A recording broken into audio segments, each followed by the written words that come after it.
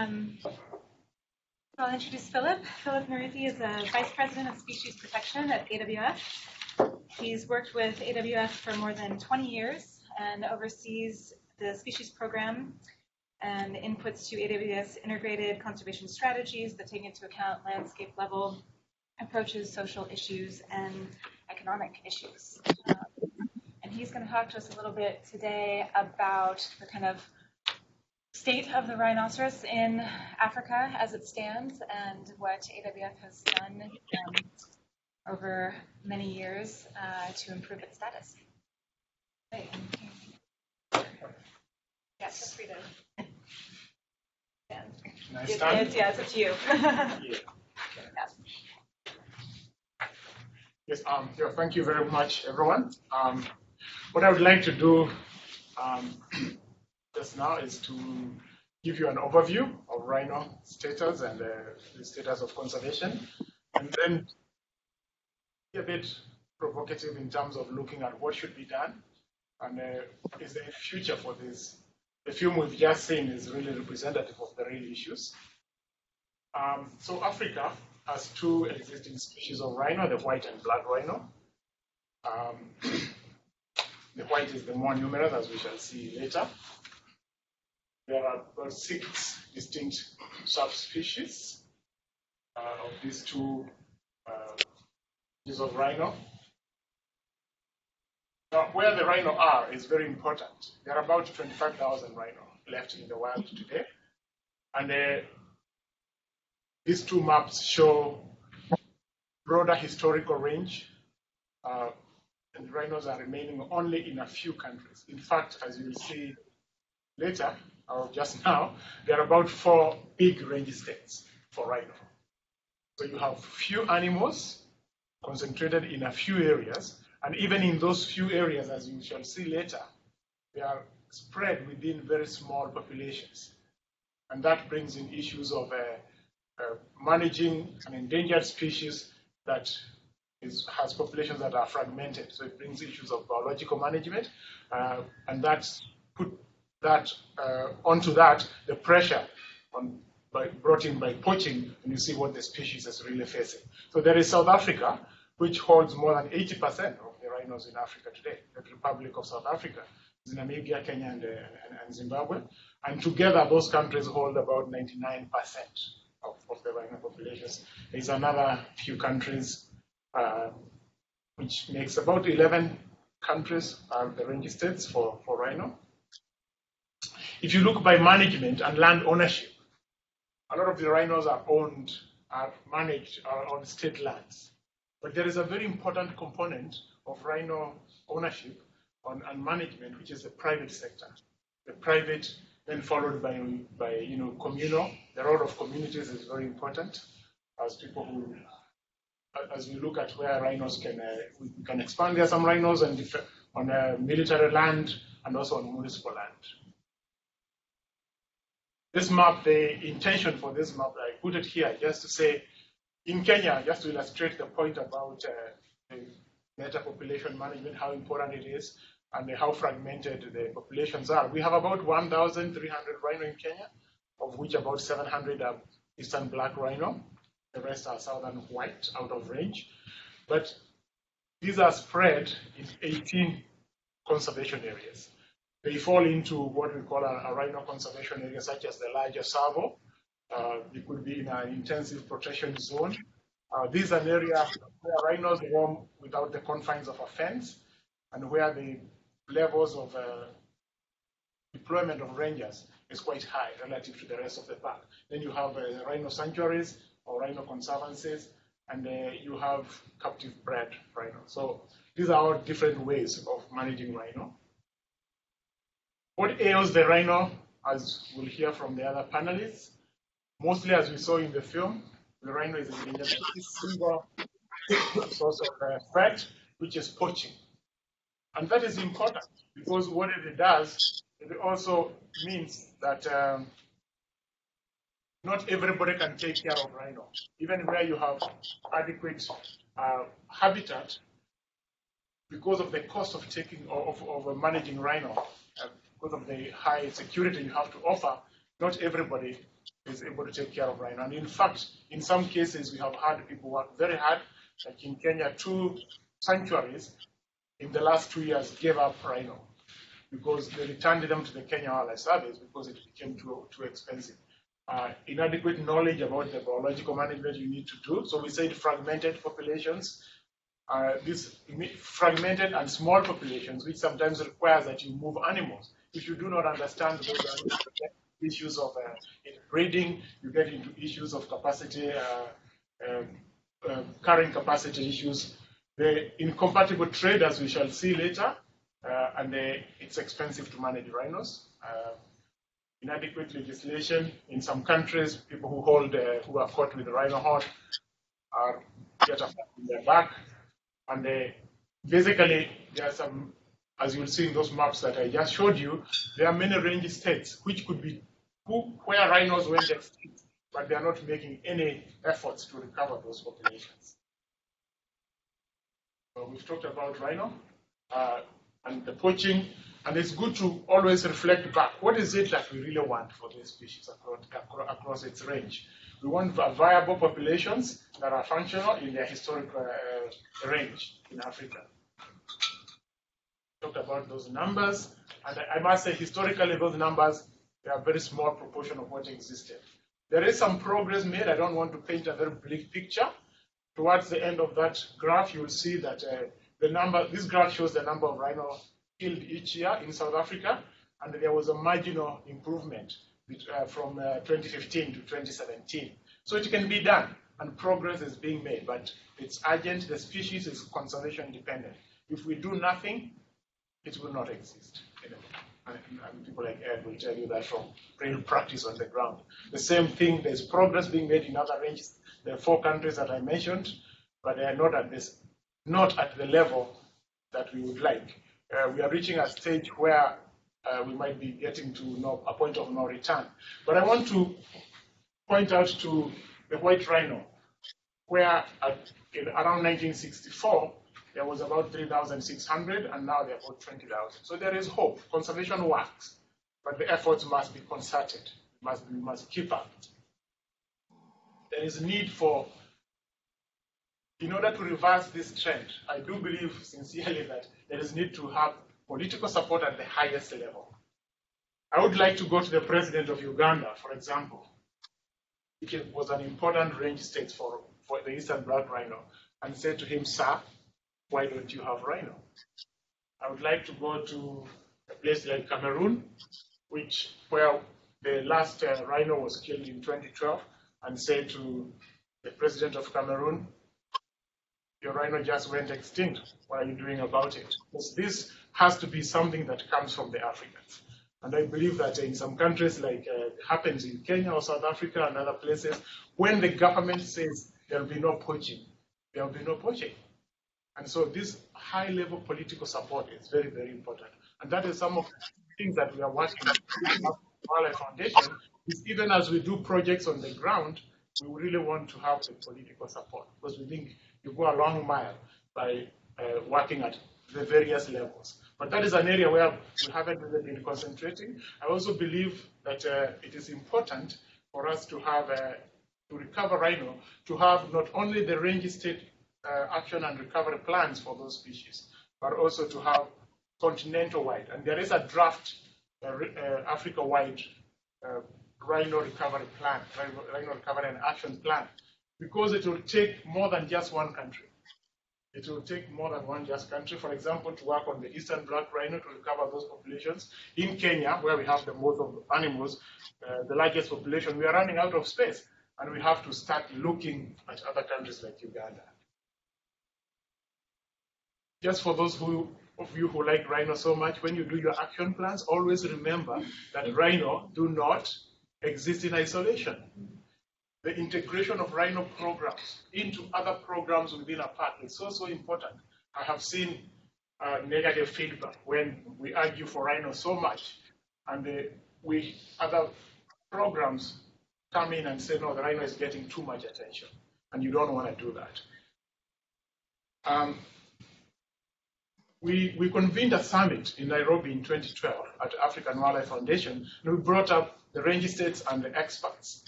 where we basically produced uh, some actions that needed to be done. And uh, this, I put this photo here just to illustrate that in order to do that political, high-level political support for this species, we have the, enough knowledge. We cannot say, we cannot let this species go extinct because we don't have enough information. We have information enough for us to act. And uh, that information needs to feed up, feed up to the ground, and but also feed up uh, to the political level. Conserving rhinos uh, requires specialized capacity.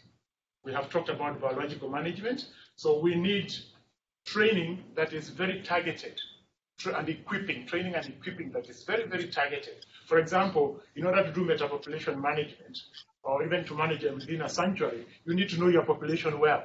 You need to know the carrying capacity. If the carrying capacity exceeds, before you see any death, you start to see reduction in reproductive rates and survivorship. And that is equivalent to poaching. So just keeping your rhinos, like happens in some countries, uh, or in some sites where they don't want to exchange and they don't want to do metapopulation management, effectively what you are doing is you are doing poaching. So collaboration is very important, it's very specialized. Uh, looking at collecting data, checking the records, interpreting that information into management action. Uh, just uh, some of the equipment that we recently given to Kenya Wildlife Service, scene of crime, joining, uh, working in a more disciplinary manner, bringing in other agencies. We cannot leave.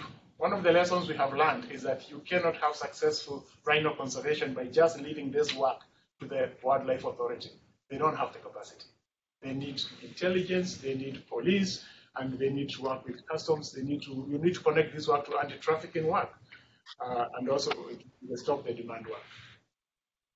It takes knowing the behavior of the animal in order for you to really understand where to see it.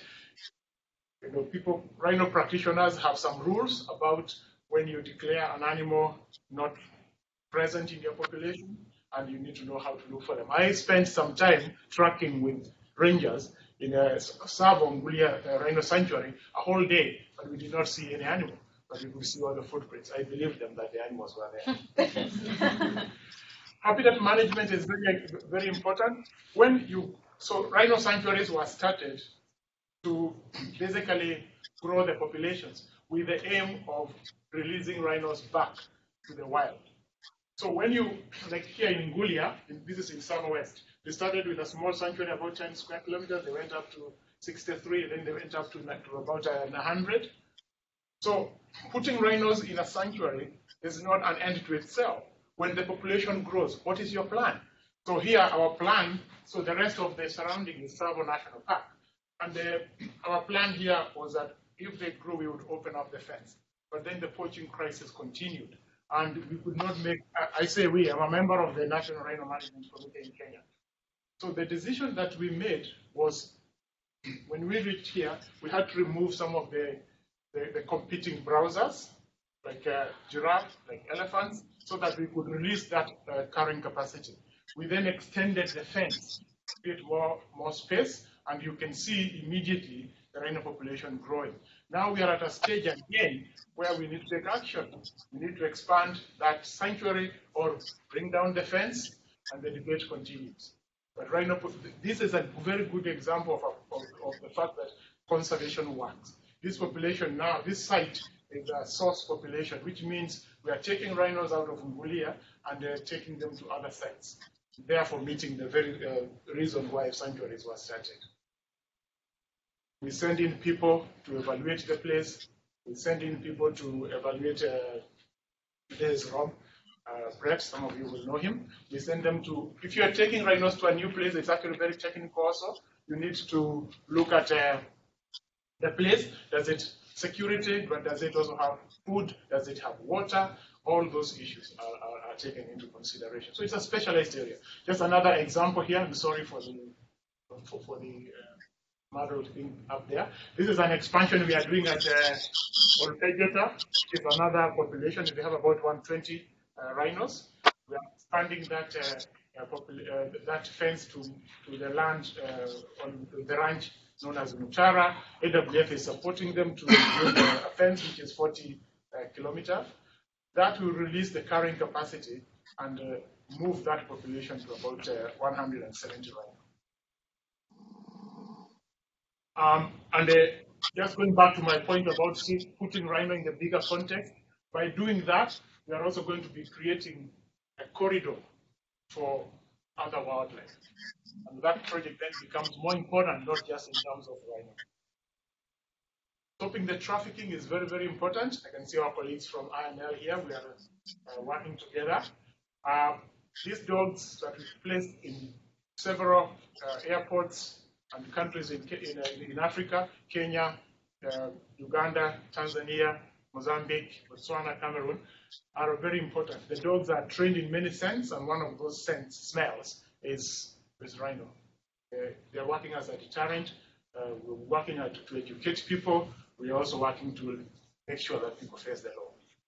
It's a scalable solution. As you can see, those are the areas where we are putting these dogs.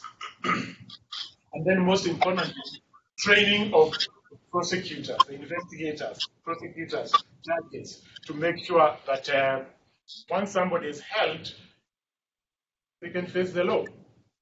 We don't want to jail people. We want them to we want to do justice for people and justice for biodiversity, justice for rhinos. Now, coming back to a common voice, this is just an illustration that uh, Africa goes to CITES, for example, the Convention on, uh, uh, on Trade in Endangered Species, and never goes in a single voice. And so decisions that are made by Africa, for Africa, at CITES, are made by non-range states. So one of the things that we would like to do continuously and uh, aggressively is to get a common African voice. So there will be a proposal, for example, proposal number eight, that will be brought to the 18th meeting of the Conference of Parties for CITES, is really about trade. Uh, I'm not saying that trade is bad. You may have your own view of that. But what I'm saying is, has Africa discussed such a proposal? Has, can Africa go together? There are about there are 183 range states. Uh, I mean signatories, signatories to CITES if, and we said there are 11 countries big that have uh, rhino, if the African countries go to CITES without a common voice, the decision will be made for them by the rest 177 countries that are, are at CITES.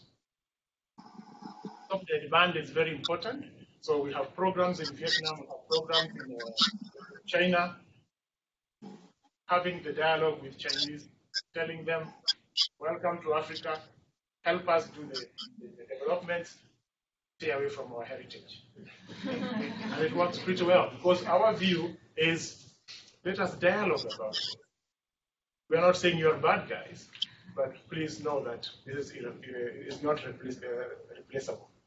Sometimes, you know, uh, we've got a strategic partnership such as this one here we have with the and we are using this to reach uh, more than 8 million people zoo each year.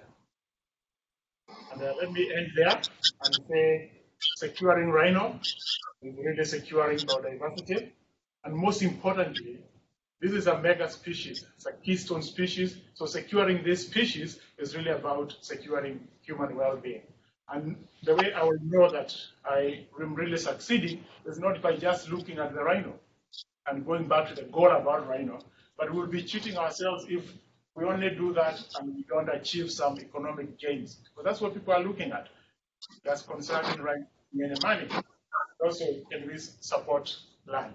But always remember about saving species is saving our own human well-being. Thank you very much. Next up, we have Ed. Um, Which way? yeah, I'm going to give you a short introduction. Yeah. Okay, so Ed Sayer is Zambia Country Director for Frankfurt Zoological Society and also manages the North Luangwa Conservation Program. He's based uh, in the park, in North Luangwa National Park, where the project provides technical assistance across the broader ecosystem, ranging from the implementation of training needs, setup of management systems, and facilitation of all aspects of operations. So big job and Okay, thank you. Good afternoon, everybody. Um, and I think that's a very useful overview from Philip, um, going over the kind of the, the broader and the bigger picture. So I'll just drill down basically on a kind of a site level perspective. Um, um, and this is one of our rhinos in, in North Luangwa. So we uh, basically started a small rhino reintroduction program um, in, in North Luangwa, and I'll show you where. Um, this is part of another presentation, so I shall stick to the rhino sections. But so North Luangwa is here in kind of northeastern Zambia. Um, the park is about four and a half thousand square k's. The wider area that we operate over is 22,000 square kilometers, but the rhino sanctuary, sort of um, referred to within that, is 1,200 square k's, but in the core of the park. Um, and we, oh, I've lost some of my formatting. Okay, we support basically. I'm going to run through the nuts and bolts because this is really what makes it tick for us. Is um, focusing on just the basics um, to make the, the, the, functionality of the protected area management strategy, should we say, um, work. So that's just um, starting with the scouts, starting with the men on the ground, men and women these days on the ground. So we do a huge amount of in-service training and high-level training um, for the scouts, um, trying to do it as regularly as possible to maintain standards, maintain discipline, maintain motivation. Um, and also upskill with new technology or upskill with new concepts as they come online. Um, we try and retrain everybody approximately four times a year, um, and then make sure kit and equipment is replaced and functional the whole time, um, and able to kind of provide scouts with the confidence to know they've got the kit that they need to do their job. Um, that's a big factor. Often you'll find scouts they don't actually have the kit that they need for the job you're asking them to do. So um, that's a, a, big part of our work. We've also now, these days, we use DAS, or what is now called Earth Ranger, so we're able now to um, manage live time, live tracking of our patrols. All these little green radios, symbols, and blue ones, they're radios, they're patrol radios or, um, or vehicles. Um, and you're able now to see them on a, on a, on a live context. We have, you can see some elephants there. With all of our GPS track wildlife, um, uh, satellite track wildlife appears on here planes appear on here, undercover vehicles appear on here, um, and soon about one one rhino appears on here. This is an old shot. We've just started a new program with um, another company. I think I'll pitch it also here with Sigfox, yeah, um, which is just starting to, to get online now, which means that we can manage our scout patrols and our other logistics um, um up to, in current time, as opposed to having to react and, and, and, and, deal with things later on, um, which is proving a bit of a, a, quite a game changer. For example, I can log onto this here, and I can speak to people, I can get on WhatsApp, and I can speak to our, our, our teams on the ground and quickly see what's going on. Um, equally, it is a kind of internal policing because people now know that they can be seen, they know where they are. We've used it, unfortunately, on two or three internal policing issues, uh, but that's a reality. I mean, I think from the film we can see that's the reality. Um, anyway, so that's a quick overview of, of this. So in 2001, we embarked upon our, on reintroduction program. As mentioned, Zambia really, um, Zambia's rhinos were poached to zero. Um, and so we've, uh, at the time, it was the single largest reintroduction into a former range state. I think that's been superseded now probably by Botswana. Um, but um, so we started off, we brought in 25 unrelated animals over a longer period of time than we wanted to, but when you come to negotiating with various different governments, things take a lot longer than you realize. So 25 animals over seven years was meant to be over two years, uh, but over seven years. They all came in from South Africa, um, and they all came in on C-130s Hercules into our little airstrip inside North National Park. Um, and um, and then we reintroduced them. We've used sanctuaries as uh, Philip referenced from Ngulia. And in fact, we used a lot of the lessons learned from Ngulia for a lot of our work, actually, um, including the team. Um, I think the same guy we saw in the picture, Rob Brett, came and helped us with some of the setup and some of the designs. Um, and to date, that population has, has, has, we had some adaptation challenges, and I'm happy to field some questions on that later on. Initially, these days, um, since then, since that adaptation phase, don't forget these animals came from South Africa. North Luangwa is very different. It's like us if we go somewhere completely different. It takes a while to get to know where you're going to get water, where you're going to eat, what you're going to eat, um, and the social fabric of their of their or the social their social structure is, is was I think has been quite misunderstood or or or um, not, not not understood fully. Um, and we've seen now that, that, that once you get over that, once they're, once they're in, and if you concentrate cohorts, you're going to be able to have a much quicker success. So we are doing, and now we've got one of the fastest growth rates um, on the continent, um, and we are just now a key two population. So it's all going um, well at the moment, but it takes a huge amount of effort. Um, and this is fencing. So just like Philip said, we started off with the fencing. We had a small area, then we got bigger as we got more animals in. Then we got up to about 300 square k's. And the whole plan was to take down the fence and let the rhinos roam across North Luangwa. And bang, that same rhino poaching hit in uh, 2010, I think it was. And suddenly we had to jump around and find some more funding and put the fence back up again. Um, um, which was a great shame because we also then had to expand. It went from 300 square k's up to 1200 square k's. Um, so kind of, we thought it was a kind of step backwards, but I think in reality that's probably here to stay. I think don't think the threats and the pressures are going to reduce, and so I think we'll have to get used to it. Our sanctuary fence basically just stops rhinos moving out. It means that they're contained within an area that we can focus on.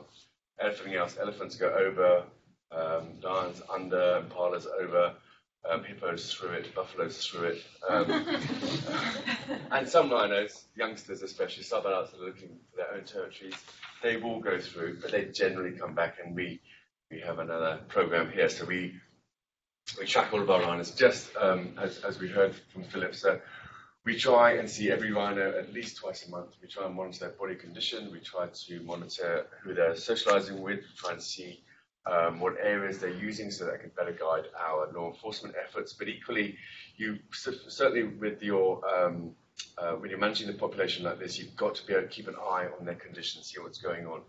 Uh, but by doing this, we cover the ground. So it's 1,200 square k's. It means that pretty much every square inch of that area is covered on foot. So yes, we're going after runners and trying to see them and trying to work at their condition. But equally, that's our biggest um, one of our one of our main security or law enforcement efforts.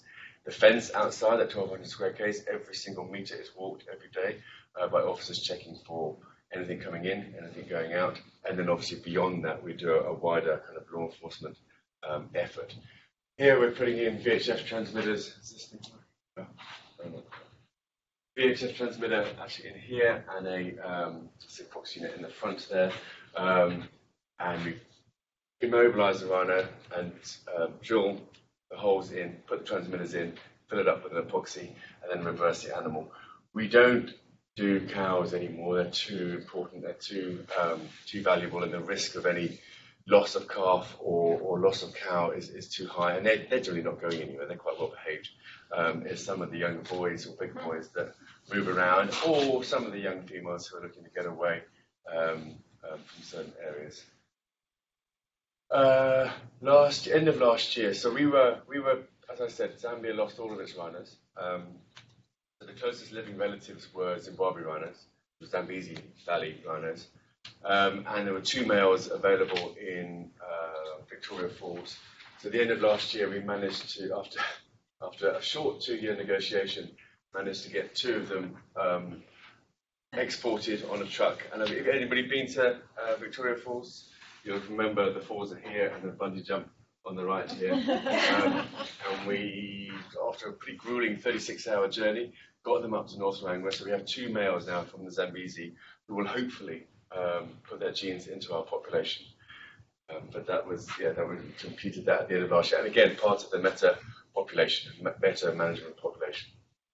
Um, dogs, yep, as, as Philip alluded to, we also use these a lot. These are, these have become an integral part of our of our effort. We've got four dogs now, actually all from here, from Montana, um, detection dogs that are trained on four on, on nine scents, um, and they have made our whole operation extremely efficient. Um, when it comes to dealing with the communities and dealing well, dealing with problems in the community or in the in towns because they enable us to get in and out really quickly.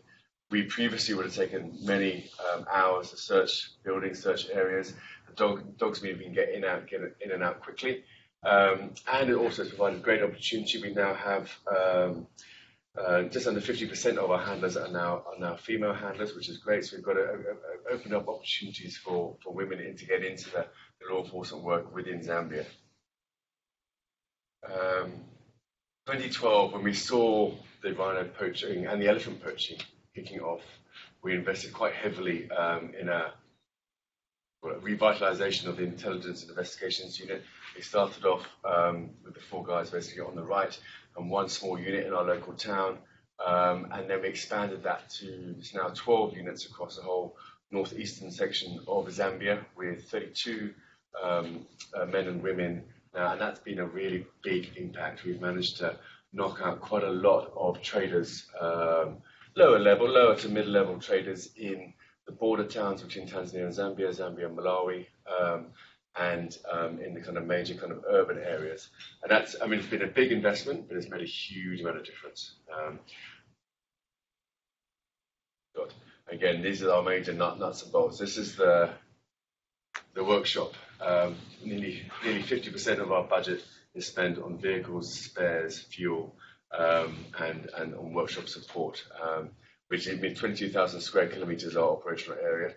Um, so we've got a fleet of 50 with 33 Land Cruisers, Hiluxes, Prados, trucks, tractors. It's it's the biggest section and biggest headache of our operation. And we're, we're lucky, we've got um, quite a few young Zambians coming through now, taking on bigger roles. We've got um, good dialogue with the Commonwealth University. It's creating really good um, um, um, students to come out of there. And with all this rhino work and the protection work we're doing, there's a lot of more opportunity for, for higher level jobs. Um, infrastructure. So we do quite a lot. This is something that made a big difference to us in our protection work is ensuring we've got better access around our intensive protection zone, around the rhino sanctuary, but also other parts of the park. So we've built, I think now it's about 38 of these bridges. Uh, that means, because often these are just the barrier that gets stops you from going another 10k to a deployment or an extraction or to make an arrest. So putting these in, and these don't cost that much. I mean, you can generally get these in between you know, five and fifteen thousand dollars, and you suddenly got access, uh, and they're there forever. So we put in a lot of put a lot of effort to put these in place. That's the same It also means scouts and their families can get in and can get out. So that looking after the families is a key thing. Just realised I think some of these slides are in a funny order. Anyway, um, something else we're focused on is scouts' families. We've built, um, tried to build permanent houses for all scouts, uh, so they can all have, um, you know, uh, tin roofs and and concrete um, buildings for them and their families. So when they're out on patrol, they know their families are in somewhere safe. We've got 75 houses here, and in total, we've done 190 houses across the ecosystem. And in fact, we're about to do some more. Um, and then we focused on the up here is a school and dormitory block. So we built a school for the scouts and their children, and built dormitories so that those um, scouts who are in further afield places can send their kids to schools that is part of the same system, not completely um, somewhere else conservation education program. Um, so we now focus on 22 schools around the ecosystem. We deliver a course within their normal curriculum, um, which is focused on conservation, not just rhino, but conservation messages in general.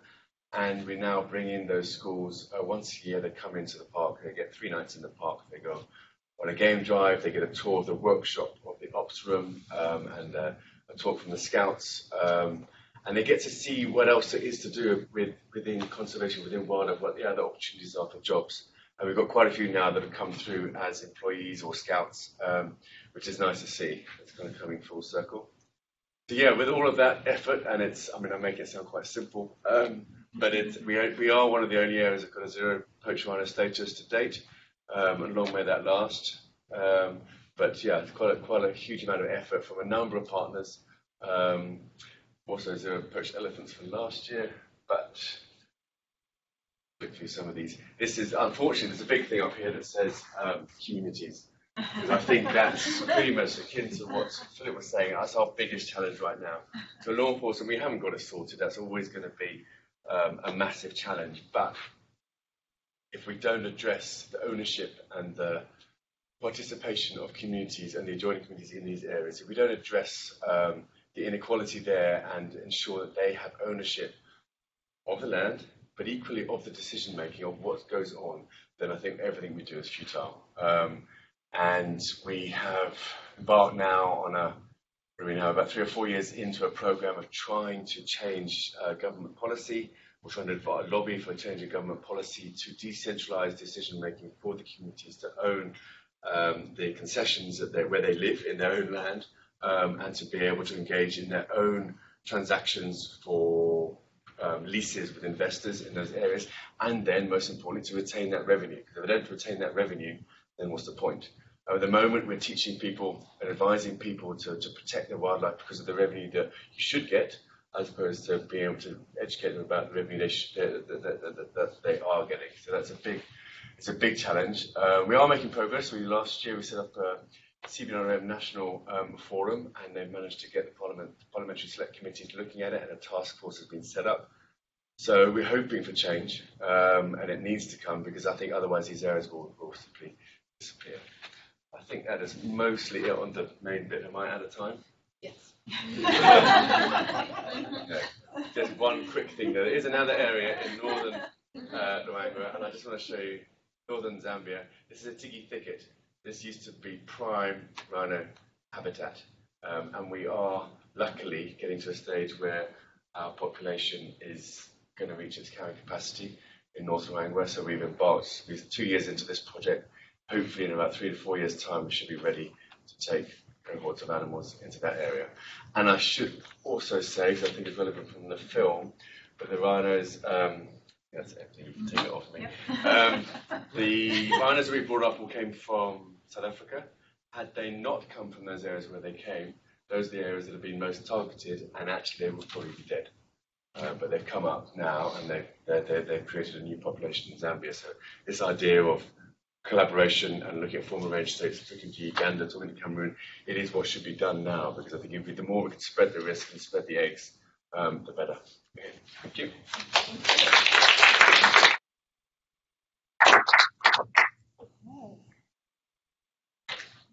Much. All right, next up we have Kathleen Fitzgerald. She leads the Conservation Capital Sustainable Ecosystems Africa Division. And she has 25, more than 25 years experience in integrated large landscape conservation programs in Africa and in North America. Uh, she was, uh, until recently, a senior staff member of AWF for about 11 years, um, serving as vice president for East and Southern Africa portfolio. So we're happy to have Kathleen present on the Rhino Impact Bond. Great, great. Thanks. Thanks, Rebecca. Um, thanks everyone for sticking around. It's been a long afternoon of rhinos.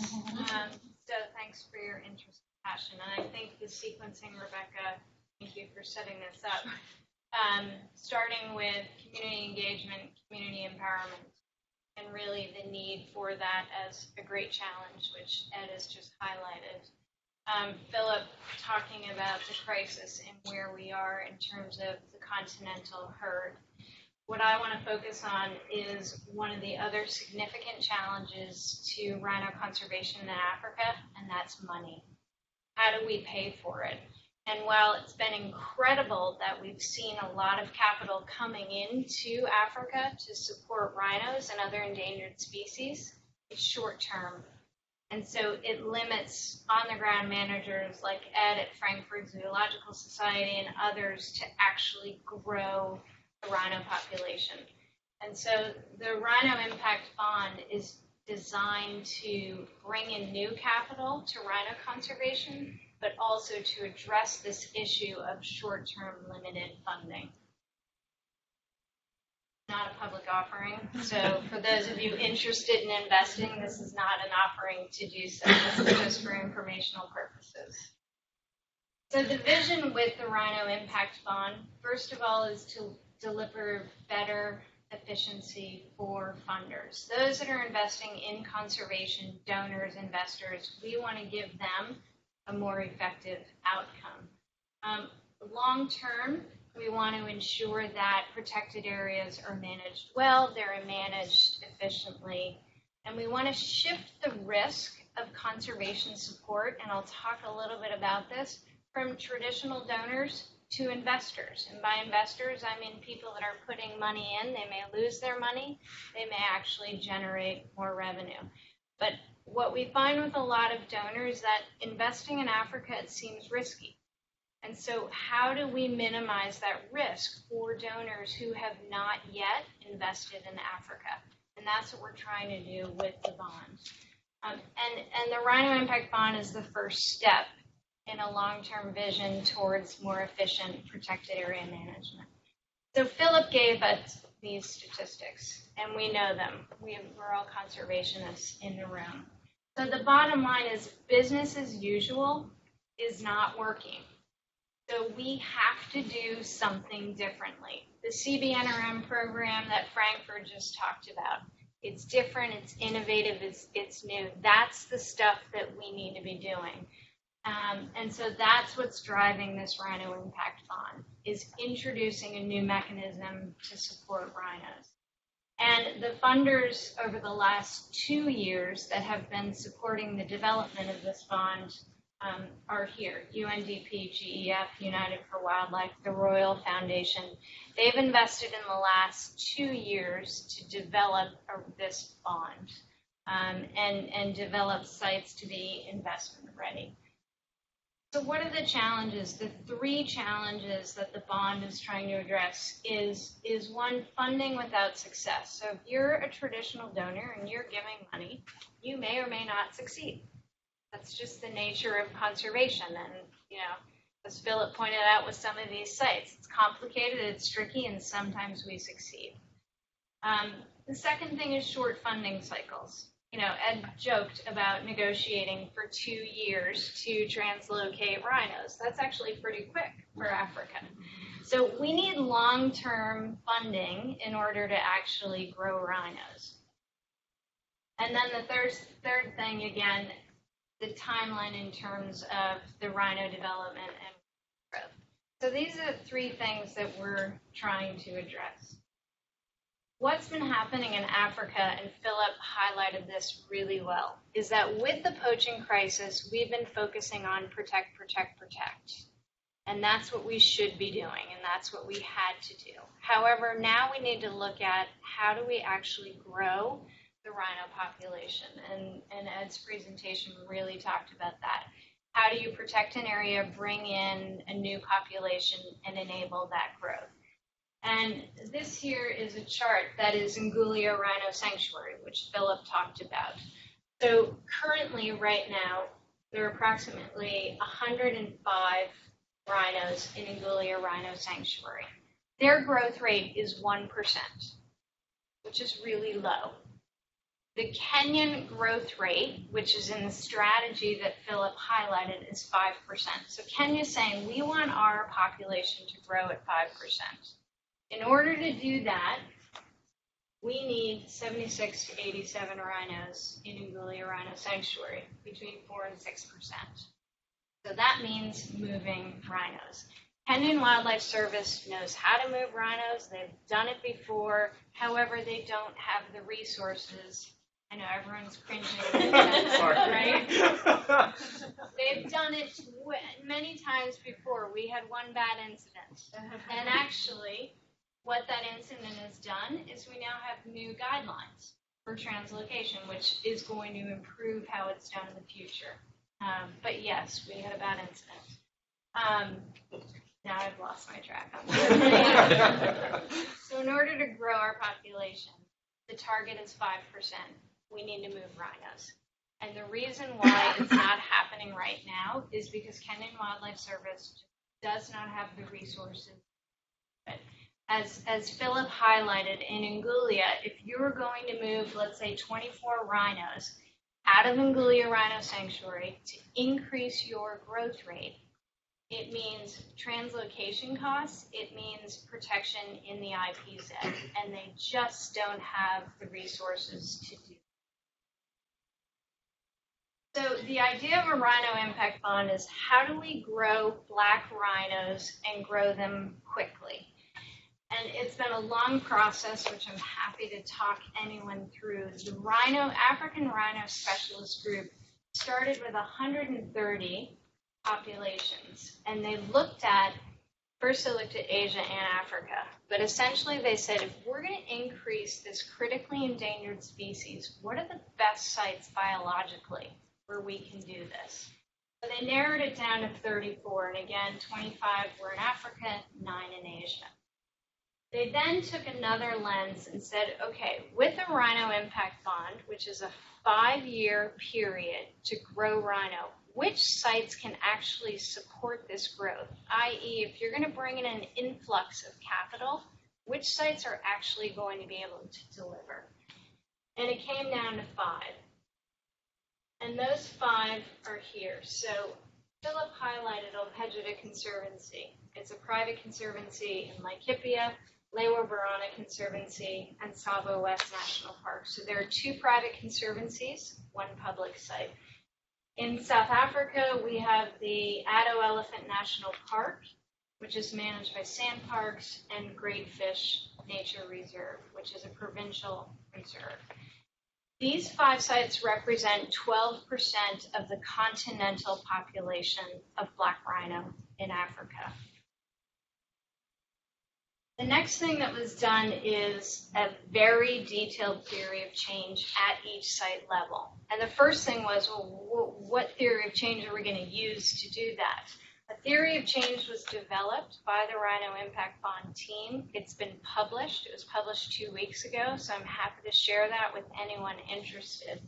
And again, this is not a bunch of um, people sitting in a room in Nairobi. This is with the Rhino Specialist Group, IUCN, SANParks, KWS, partners on the ground. It's been a very um, long and detailed process.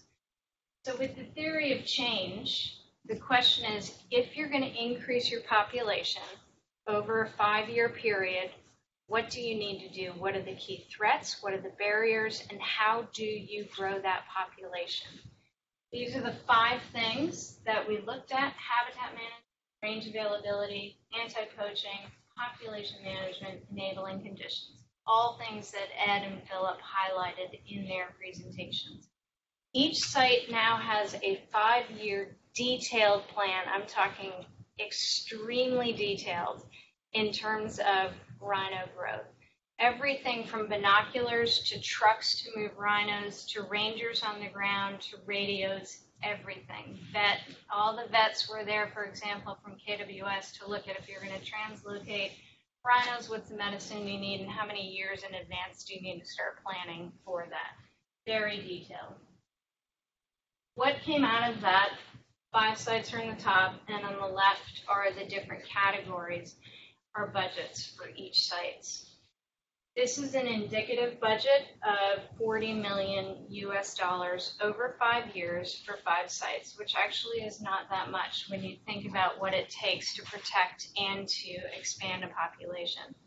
These budgets are now being reviewed by an independent committee of rhino specialists who actually know how much it costs to do this, but it's roughly $40 million.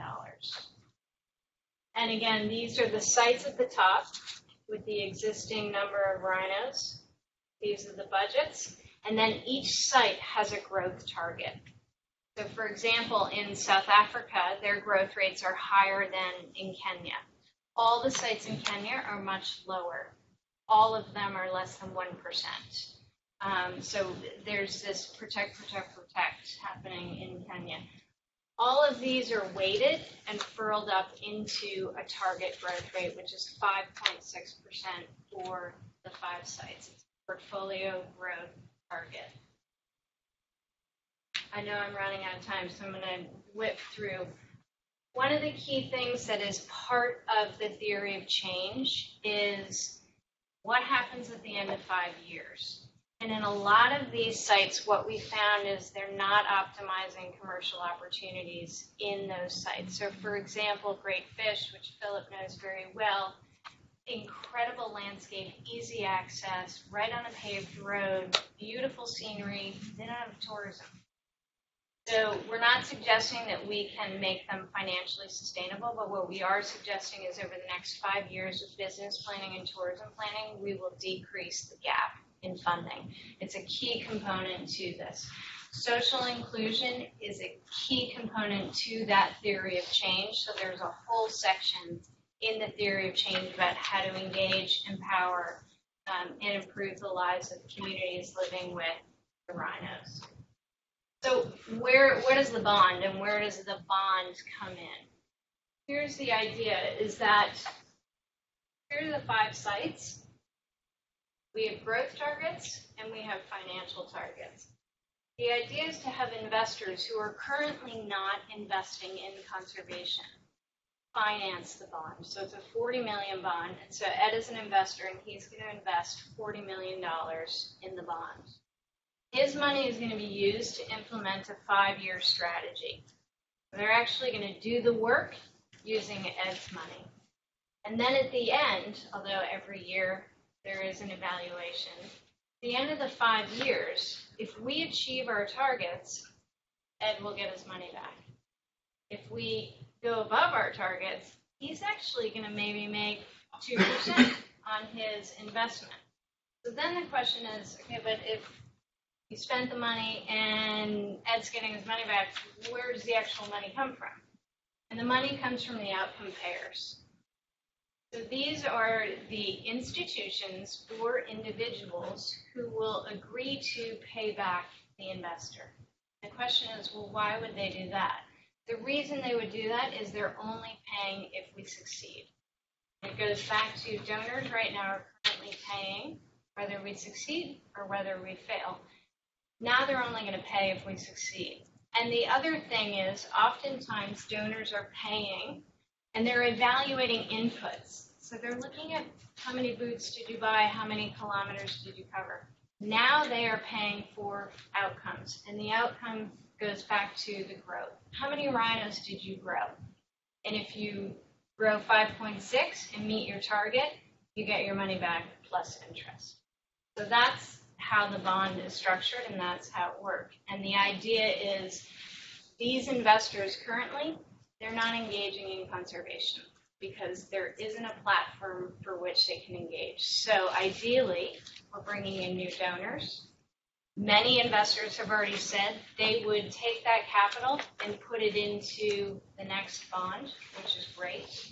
And then longer term, what we would love to see is that folks like us in this room could invest. And rather than investing in the stock market tied to oil or something, we're actually looking on the computer and we're watching the number of rhinos going up and down, and our return will be based on conservation outcomes.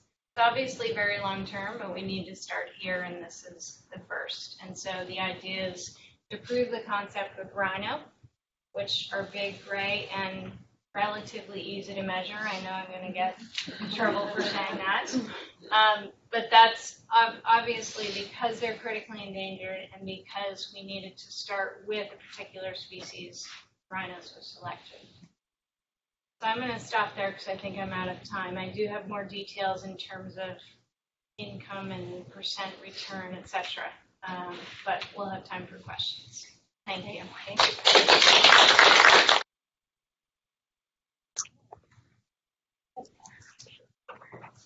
I've got just a couple of questions, and then I know there are probably some burning questions in the room, um, and even those of you that we have listening in. So, um,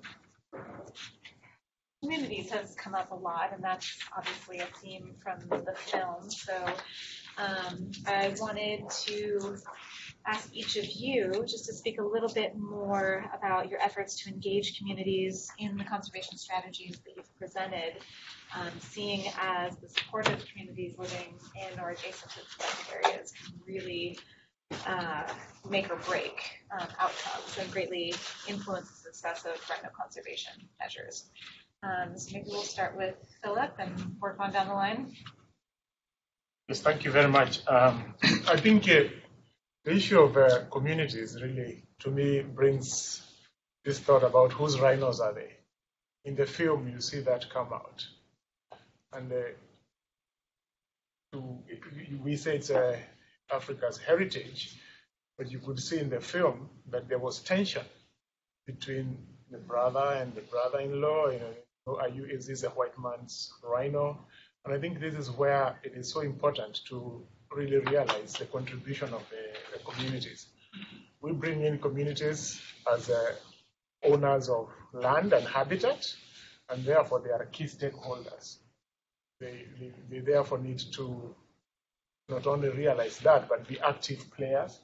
Uh, they are in the front of, uh, they know who is coming onto their land, so they, they are very much a part of the anti-poaching uh, uh, process. But most importantly, if well nurtured and well uh, invoked, communities gain uh, can gain from conservation. We need to put wildlife conservation as a comp- to compete with other types of land uses.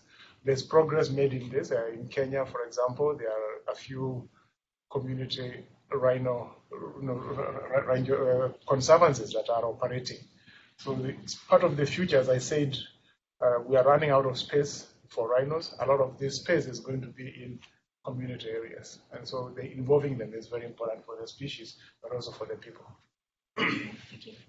I think Philip's pretty much covered it all there. Um, but yeah, I think that's spot on. I think we, certainly for us in, in, a, in a Zambian context, it's we're a bit behind. I think the we're a bit behind continental policy in some respects, and I think we need to address it very quickly. We're going to lose vast tracts of land that are um, the buffer areas for the national parks if we don't address it quickly, if we don't put ownership of the resource and the land in the community's name. And as I said, I think when I was talking, the ownership of the decision making, that's key um, as, as, well. So I think um, certainly our biggest challenge is actually changing policy and changing the way it's perceived by the decision makers um, within government at the moment. Um, but we're, we're, pushing along, but it has to change, otherwise I think we, we, we will really struggle. Yeah, I'm, the only other comment I would make um, relates back to business as usual, just is not working. And, and I am still surprised when I hear people speaking about community benefits and they're talking about token benefits that don't change the lives of communities. Um, and it will not work. And it starts with that decentralizing of being able to engage in wildlife management, being able to engage with private sector, which in many countries, communities are still not empowered to do that. Um, and so I think the process that is happening in Zambia needs to be replicated elsewhere just so that they can do that because in some countries it's it's not possible. Um, Kenya is a great example where communities can actively engage with private sector directly they don't have to have money going to central government and then back down. We all know what happens. Um, so I think critical shifts like that need to happen. Excellent. Um, from in the landscapes that you work, what are the um, biggest causes of human-wildlife conflict? Uh, can you speak a little bit about um, what those are and, and how you're addressing them? start? We'll come back to Start this. back this okay. I mean, one of the key things around human wildlife conflict is um, in most countries, not a surprise, Africa's changing, it's changing fast. And so we're seeing development take place in areas that um, are currently being utilized by wildlife. And so one of the first things that many conservation organizations like AWF are doing um, is land use planning because spatially planning is critical. And you can have really good conservation next to really good farming, for example, as long as it's planned appropriately. So, what's happening right now with growth in Africa is that it's happening at such a fast pace. We're seeing roads going into areas that are habitat, um, and it just creates conflict. So, starting with proper land use planning, which enables separation to the extent possible of wildlife and farming and settlement is critical.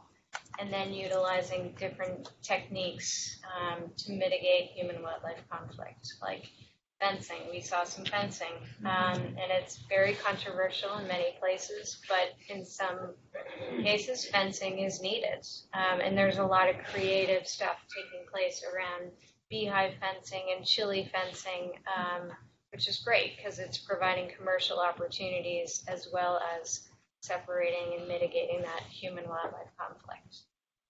Yeah, I think again, Kathleen has pretty much covered most of it. I think that's um, that's spot on. And obviously, when you do get increases um, in in wildlife populations, you, that exacerbates that that conflict. Um, I think one point to add maybe to some of those tools of the land use planning is key. I completely agree with that. But then equally, the, the value for your planning has to be realised.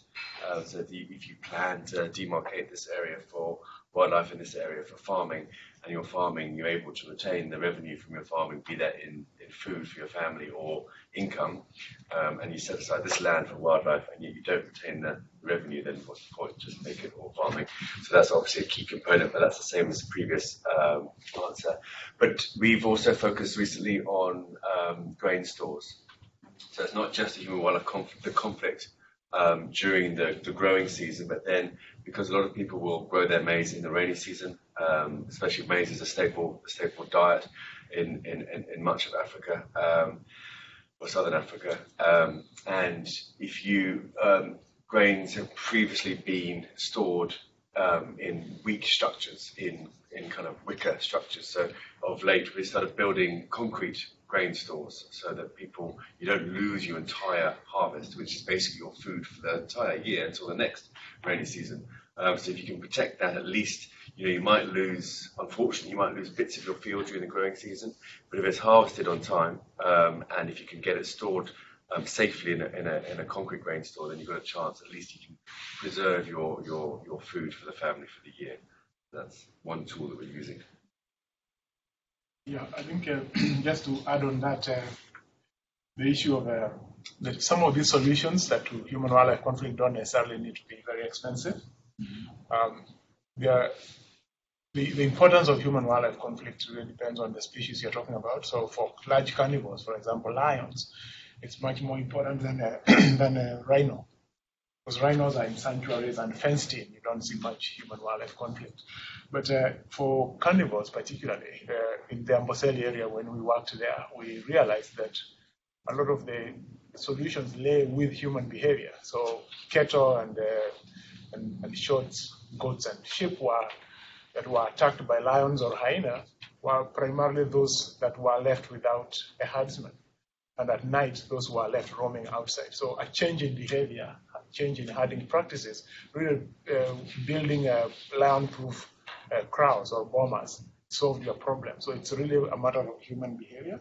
Um, also, human wildlife conflict can be escalated simply by the leaders. So by local leaders, as sending the wrong message to, to local people, escalating that and setting the wrong uh, expectations.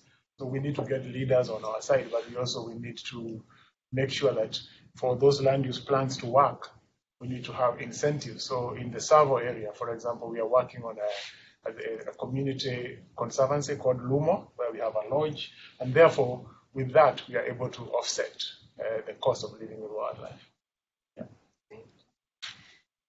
Um, so last question from me. Um, in the film, we see that one of the main characters is a ranger um, and kind of provides that front line and being poachers face on. Um, and so, from your perspective, I'm wondering what is the role of law enforcement um, in stemming the poaching crisis?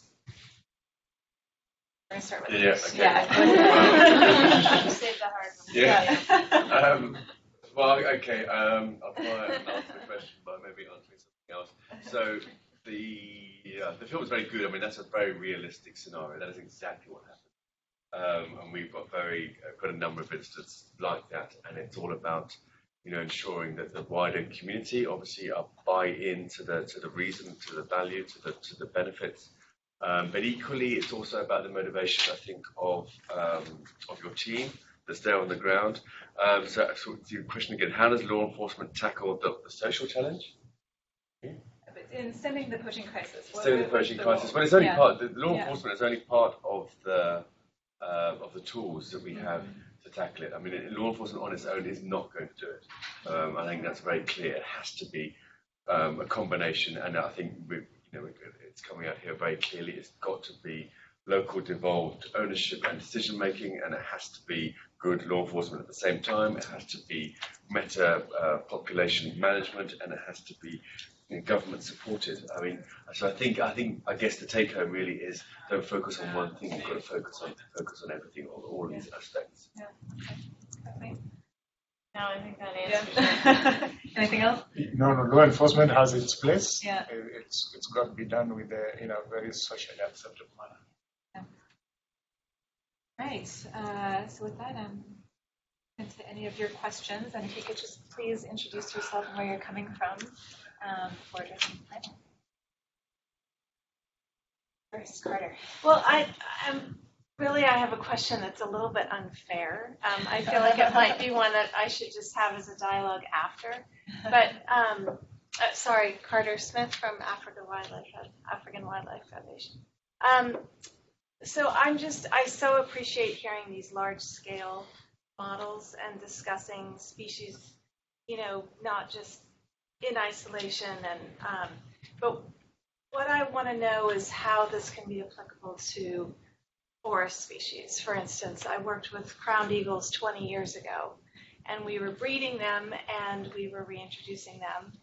And we couldn't find space in the forest for the crowned eagles. If there was forest, there was already a pair of crowned eagles. So even back 25 years ago, it was, you know, we were trying to augment the species, but it was a different scenario where it was not because of poaching, it was because of land. It was strictly a land issue.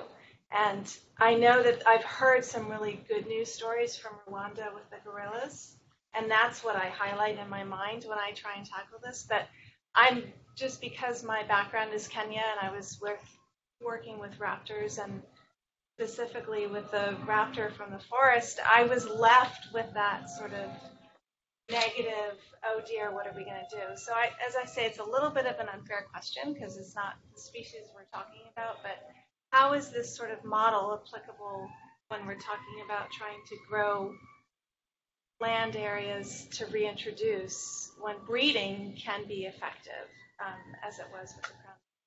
Is that applicable to something? I think, I think in the first place, you know, we want to we want to make sure that we do conservation the right way in the first place. Yeah. Because reintroductions are very expensive and they, they are plagued with so many problems. Um, but uh, I think the the incentive for for introducing uh, species has to be has to be there and it has to include multiple multiple stakeholders. Um, the I don't know the issue of, of raptors, but uh, in the rhino world, for example, uh, getting support from government for somebody who is going to introduce rhino is very very important Yeah. because of the cost that comes with it. Not a private individual may not be able to do it, even though they may be able to fence a, a sanctuary and be certified by by the government to start that. So finding the right support for those individuals because they it's, it's like you're doing a social good, but you're, everything if policy policies don't support you, the, the, conserva- the, the weight and the cost of that is, on, is only on, on those individuals. But so I think my, my, my answer to that would be like do it well in the first place Yeah. uh, because reader introductions are, are, are, very, very expensive. And sometimes it is the introduction of the species itself, but also rehabilitating habitat together with that. Uh, I, I would have thought that the potential lessons learned from the rhino world would be, and I think originally the rhino world didn't learn its lessons, was to look beyond the boundaries as well, to look beyond national boundaries. Because I think, for Oh, for example, sure. you know, the, with the northern white rhino, I think that potentially wasn't done, and they were lost. And I think, you know, looking at um, and with the raptors, I would assume that if there is still available habitat for crowned eagles beyond Kenya and, and some of the other areas, and had those boundaries not weren't considered, and there was more cooperation between neighbouring countries, then perhaps Yeah, there's a better that's a chance. good. I mean, we've seen it now with you know rhinos coming from different countries to support um, a, a, a small population in another country, and I think if you try and ignore those boundaries and try and get to a collective agreement. Yeah, making it more of a continental. I think to your point on habitat, I'm going to say something which is going to conflict, but our biggest issue in Africa is habitat loss. But at the same time, we have an enormous amount of protected area that is currently non-operational and not managed. So one of the biggest challenges we face, I think, in the next five to 10 years is how to operationalize those places. Because otherwise, as we've seen in Tanzania, they're going to start degazetting um, those areas. So in terms of space for expansion, it's there. With rhino, the issue, of course, is the expense of moving and protecting once you get there. Lion, for example, there's opportunity for expanding and moving lions, but because of the human wildlife conflict Yeah. and the issues around management, people are saying, oh, we can't take it. But Tanzania is a great example where there is a lot of conservation area, I'm not saying national parks, that mm. is currently not being operationalized. And the president has been very clear, we will lose that if it's not actively managed. Managed. Other questions? Okay, We have one in front and then Kate. Hi, I'm Maya with uh, Frankfurt Zoological Society. Um, kind of a complicated question, but I'm wondering if the communities, um, like how aware are the communities of the ecosystem services provided by rhinos? Um, and how does that, how, do- how do those crucial ecosystem services, um, like provide, um, sorry, how do they um, how does that play a role in their like conservation efforts um, if that makes sense um, like education i'm just wondering because it seems that they're they're so important um, for various reasons and including like ecotourism that could bring in money um, so has has there been an economic value assigned to these various ecosystem services that they provide? And would that be a helpful way of um, increasing conservation effort? Yeah, I mean, I can answer some of that, I'm sure, um, as well as well. I think um, certainly in our context, the, the rhino is used as like a flagship species. So we, you know, we the focus we talk about rhino, it can be elephant as well, um, it can be a number of species, but we use that basically to open the door donors, we open the door with government on negotiations, we use it as leverage to protect a much wider area. So, for example, we the rhinos are in 1,200 square kilometres in the middle of North, North Luangwa National Park. The money we raise on the back of those rhinos, or for because of those rhinos, actually supports 22,000 square kilometres. So therefore supports a much wider ecosystem.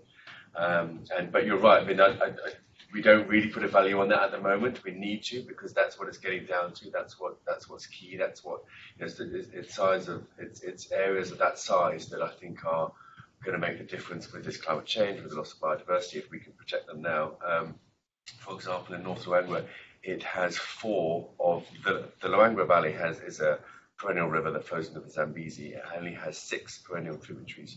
Four of those rivers, perennial tributaries, start in North Luangwa. The more it's protected and the wider community area is protected, and whether that's with conservation farming or at least acceptable farming methods, as well as the use of the, the, the forest there, um, it's all linked back, and we're able to provide that support on the back of the rhino because people know that's what we do. We do rhinos, so it opens the doors for USAID, could be EU, could be whoever, to get money in. But we don't yet put a value on, I think, on that economic value. But I think it's coming. Maybe Kathleen might have more on those kind of things. I'm not sure. Um, but yeah, Yeah, I mean, I, I think the simple answer is communities are extremely aware. They may not call it ecosystem services, but they're the ones that are experiencing the water shortage. They're experiencing soil degradation, and so they know it. They feel it every day. Um, and there is great progress in terms of quantifying the ecosystem services. I'd say there's less progress in getting people to pay. Um, Tsavo is a great example where in Ngulia um, there are springs in Tsavo which provide water to Mombasa, which is our second largest city in Kenya. Residents of Mombasa should be paying for that water. Um, we're starting to see that with some creative water ecosystem payment schemes. Um, Rwanda what a surprise, is paving the way in terms of actually doing natural capital accounting. And I suspect they will be the first to actually incorporate that into their annual budget, which is exciting. So we're heading down that way. But, but I think just uh, to be realistic, it's really a job that we haven't done well, we conservationists. We have not communicated the value of species to, you know, to your question. How many politicians think about rhinos as how, how many in Kenya, for example, associate the water that goes to Mombasa with rhino conservation in Tsavo? I would say very few.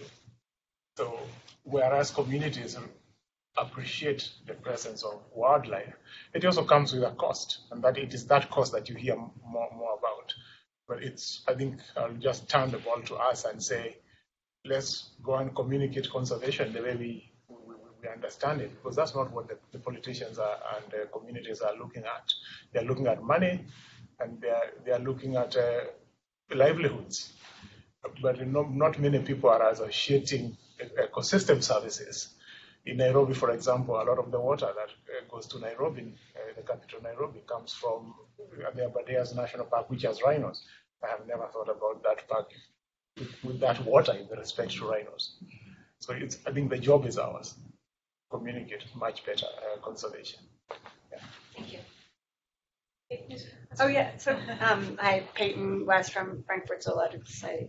So Kathleen, for the, for the impact bond, I'm wondering, is, are rhino numbers the only metric? Because it seems like you could be losing something in that bigger picture if you're not looking at other Yeah, it's a great question, Peyton, and it is. Um, we are aware, of course, that uh, one question people ask is, okay, and, and Philip alluded to this, that if you're just focusing on rhino, are you then going to have a negative impact on other species? So it's it's a good point. And the other thing that we've considered carefully as well is this the social um, metrics. So, for example, I mentioned in the theory of change, there's a whole component on social inclusivity and benefits. The reason we decided on only one metric, again, is this is the first, and we need to test the concept. And the, the more simple we can make this, the better. The great thing is that with all these um, protected area authorities, be it Ol Pejeta Conservancy or Sam Parks, they're looking holistically, of course, um, at their management scheme, but they do now have a very clear five-year strategy for rhinos, which will be incorporated into a larger management scheme.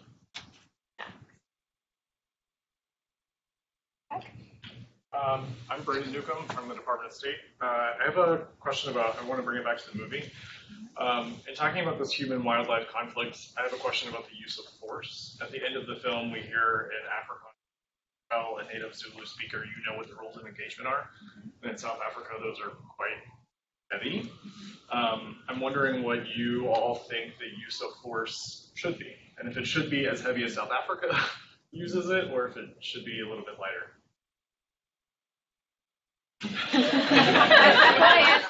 Don't go rushing to that question on. Hold on, let me get my mic in. Uh, this, this is my personal opinion.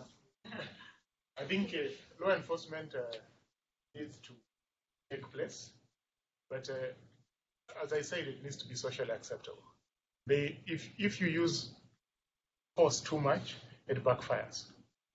And the communities can, communities are like, just like in normal policing, communities are a very, very important component of uh, successful conservation.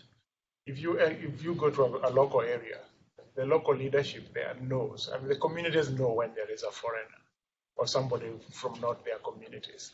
So you need you, need to get them on your side.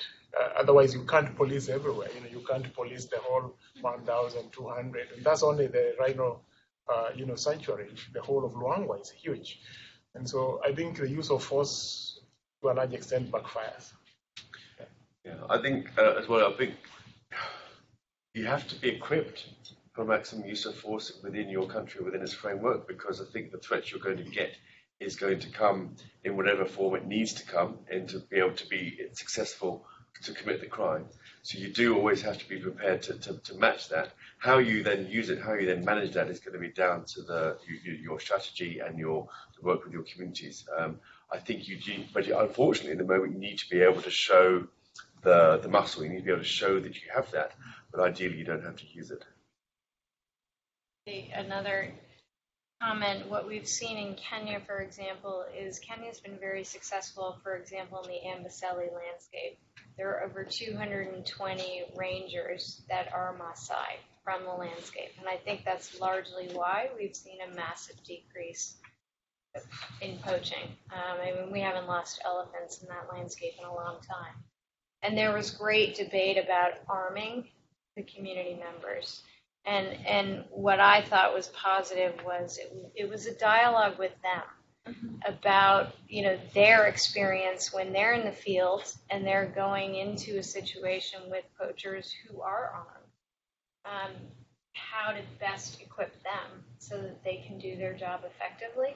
And what we're also seeing, and, and what's been, for example, incorporated into the budget for the sites that I mentioned, um, is training around um, what's the right term? You know, human rights, training around sensitivity, but making all of those community members and rangers aware of, you know, how far can they go? And I think oftentimes without an AWF or a Frankfurt, some rangers aren't trained appropriately, and so they get into a situation where they actually don't know their rights. And so I think it's important to train them on that. But that dovetails into, into fines as well. So it can be followed up. It could be, there's force on the actual incident, but then there's force with fines. And sorry, I didn't mean to take from someone. I Yeah, was and, just, and also, you know, to. the, and as, I think uh, arresting somebody who's been arrested may be more valuable than somebody who's been shot. Yeah. You know, follow enforcement. Yeah, um, this question stems from Philip's um, PowerPoint. Um, you had a graphic on there. It was a bar graph of just like from 2009 to coaching efforts.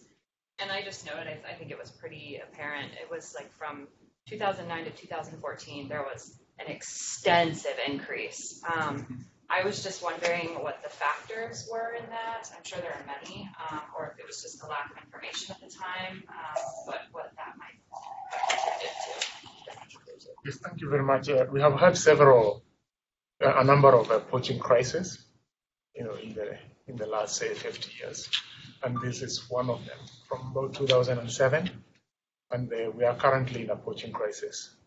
And uh, what that basically means is uh, the rate of increase through birds or survival is lower than the number of animals that are being killed uh, illegally.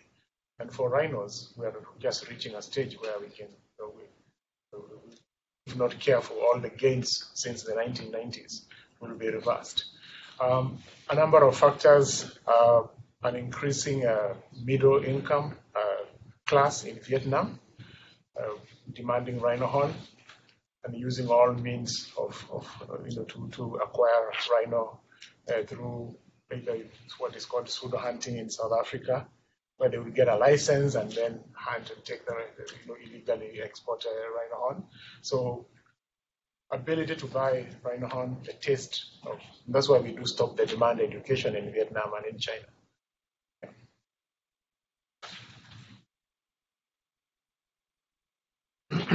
Another one for Philip's PowerPoint. Uh, you put up, a, you, know, you said you were going to be provocative, and you put up a slide um, which clearly showed that there is going to be another bun fight at CITES uh, whenever the next uh, rescheduled convention is going to be on on the Appendix One and Appendix Two status, both ivory and horn. And um, my reading of the statement that came out of the Kasane um, meeting recently was very, there was over 600 words there, which could all be pretty much summarized in the final sentence, which is that, you know, we are very keen now to see Southern African elephants onto Appendix 2 and um, some kind of regulated trade. So I'm curious, um, perhaps speaking specifically to rhino horn, and we've seen John Hume and others in South Africa now pushing the domestic trade. Do you feel that there is any role for um, a regulated international or national trade in either rhino horn or ivory? Maybe your individual, not I'll, institutional. I'll, I'll give you my personal. Just two more. Well, uh, let, let, let, let me, let me first declare that uh, I think uh, the rhino is very much endangered, and I, I feel that uh, at the moment we are, the international community is concerned about poaching and the message that you would be sending by introducing, uh, you know, introducing a, a, a commercial trade in, in rhino horn. Uh, so I would urge, you know, countries that are making those proposals to give the rhino time to recover and to really get out of this crisis. You're losing more than 1,000 rhinos each year. They, and one might say, well, that's only happening. South Africa has got them, Namibia has got them, and uh, it doesn't matter what happens. The problem is, whatever one country does during such a poaching crisis has impact on other countries. So at the moment, I would go with the status quo, uh, with the withholding any trade in, uh, in, in rhino horn because of the impacts that it might have elsewhere in efforts that are being made, say, in Luangwa, in Kenya, and even in South Africa itself. But having said that, it is very, very important that those who are doing a good job not be left to it. The international community has got a big obligation to support those countries that are doing a good job so that they don't feel punished for doing a good job.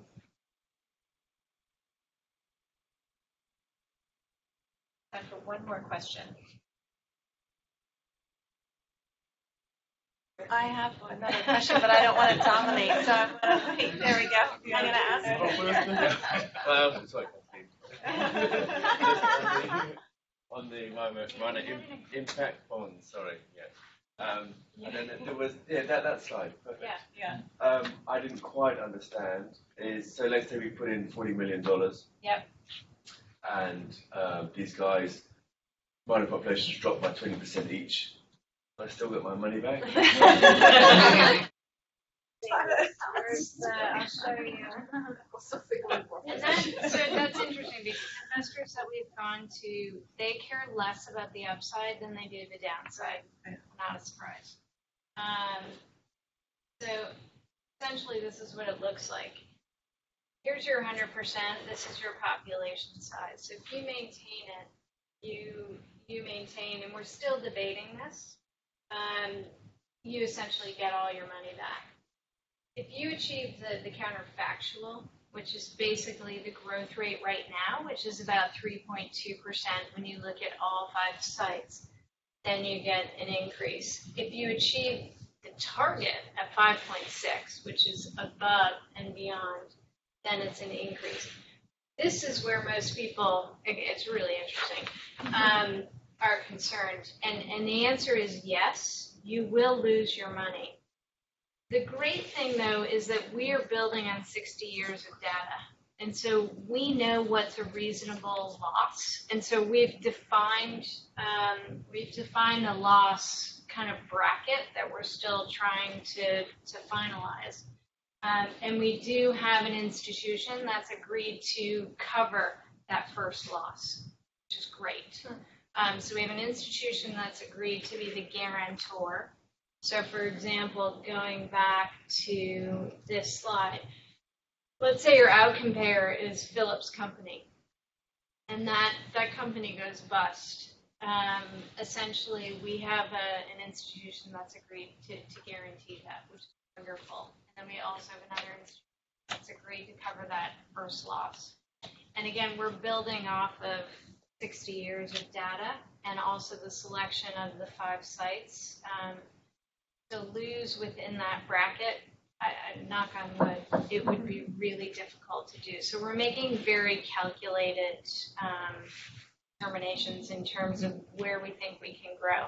And it was an interesting conversation at the field level because some some protected area authorities were like, well, let's just grow at 1.5%, and then we know we're going to reach the targets. And then others said, we can do 9%. We said, somewhere in the middle. Um, but yes, it's, it's risky. And so again, as I started shifting the risk from traditional.